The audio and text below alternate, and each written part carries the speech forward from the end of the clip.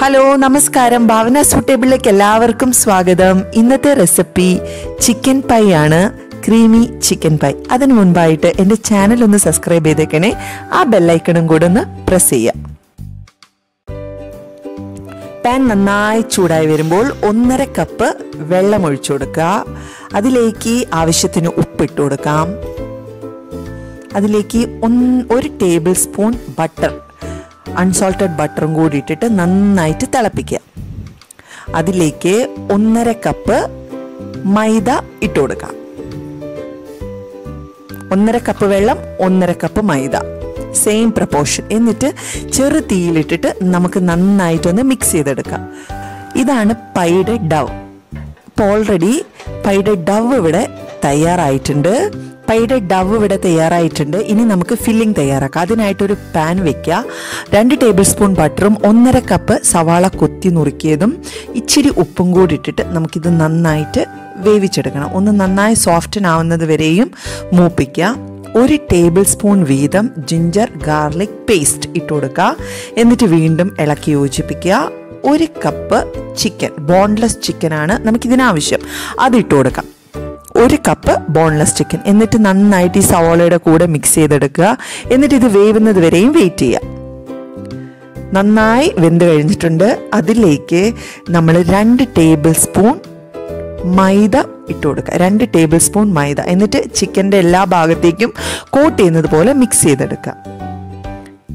നന്നായിട്ട് മിക്സ് ആയി കഴിയുമ്പോൾ ഒരു കപ്പ് പാൽ ഒരു കപ്പ് പാൽ ഈ ചിക്കനിലേക്ക് ഒഴിച്ചു കൊടുക്കണം. ഈ പാലിലാണ് നമ്മളിത് ചിക്കൻ വേവിച്ചെടുക്കുന്നത്. അതുവരെയും നമ്മൾ ചെറു തീയിലിട്ടിട്ട് വേവിച്ചെടുക്കുക. ആവശ്യത്തിന് ഉപ്പിട്ട് കൊടുക്കുക.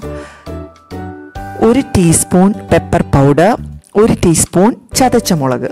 ഇതും കൂടി ഇട്ടിട്ട് നന്നായിട്ട് മിക്സ് ചെയ്യുക. ചിക്കൻ വേവുന്നത് വരെയും വെയിറ്റ് ചെറു തീയിലിട്ടിട്ട് വേവിച്ചെടുക്കാം ചിക്കൻ പെർഫെക്റ്റ് ആയിട്ട് വന്നിട്ടുണ്ട്. ഫില്ലിംഗ് തയ്യാറായിട്ടുണ്ട്. ഇനി നമ്മൾ നേരത്തെ ഉണ്ടാക്കി വെച്ചിരിക്കുന്ന ഡാവ് നന്നായിട്ട് കുഴച്ച് പെർഫെക്റ്റ് ആയിട്ട് എടുക്കണം. അപ്പം ചൂടൊക്കെ പോയി. നമുക്ക് മാനേജ് ചെയ്യാവുന്ന രീതിയിലേക്ക് വന്നിട്ടുണ്ട്. എന്നിട്ട് നന്നായിട്ട് കുഴയ്ക്കുക. സോഫ്റ്റായി വരുന്നത് വരെയും ഡവ് കുഴയ്ക്കുക. ഈ ഒരു പരുവത്തിൽ സോഫ്റ്റായി വരുന്നത് വരെയും ഡവ് കുഴച്ചെടുക്കുക. എന്നിട്ട് ഒരു ചപ്പാത്തി റോളർ വെച്ചിട്ട് നന്നായിട്ട് റോൾ ചെയ്തെടുക്കുക. പരത്തിയെടുക്കുക. സ്പ്ലിറ്റ് ചെയ്യുക രണ്ടോ മൂന്നോ പീസസ് ആയിട്ട് സ്പ്ലിറ്റ് ചെയ്തിട്ട് ഒരു വലിയ ബോൾ എടുത്തിട്ട് അത് നന്നായിട്ട് പരത്തിയെടുക്കുക. ഈ ഒരു പരുവത്തിനായി വരുമ്പോൾ ഇങ്ങനെ ഒരു കട്ടർ റൗണ്ട് കട്ടറിലാണ് നമ്മൾക്ക് വേണ്ടിയത്. എന്റെ അടുത്ത് റൗണ്ട് കട്ടർ ഉണ്ട്. അത് വെച്ച് ഞാൻ കട്ട് ചെയ്തെടുക്കുകയാണ്. ഇല്ലെങ്കിൽ നിങ്ങൾക്ക് ഞാനിപ്പോൾ കാണിച്ചതുപോലത്തെ ഒരു മൂടിയാണെങ്കിൽ എടുത്ത് കട്ട് ചെയ്തെടുക്കുക. ഇതേപോലെ കട്ട് ചെയ്തെടുക്കുക. ബാക്കിയുള്ളതും ഇതേപോലെ റോൾ ചെയ്തെടുക്കുക കേട്ടോ. ഈ ഒരു പരുവത്തിന് നമുക്ക് കിട്ടും. നോക്കൂ. ഇതാണ് നമ്മുടെ പൈ.